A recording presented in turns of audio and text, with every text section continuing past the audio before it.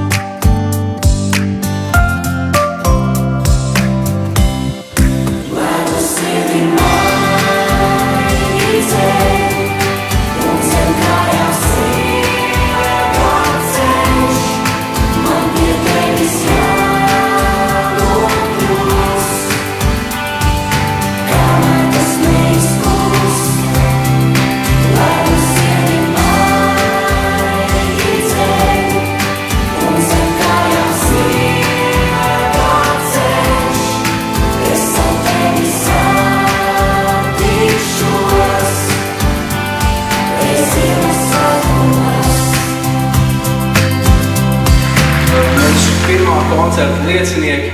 Paldies visiem maniem mīļajiem draugiem, muzikantiem. Es jums teikšu tā, cilvēks sāk darīt lietu no visas sirds, kas viņam patīk, un es sāku rakstīt atkal dzējoļus, tad viss beig beigās izdodas. Lai arī jums notiek, ar jums tieši tas pats. Dariet to, kas jums no sirds patīk, un tas visiem pārējiem arī patiks.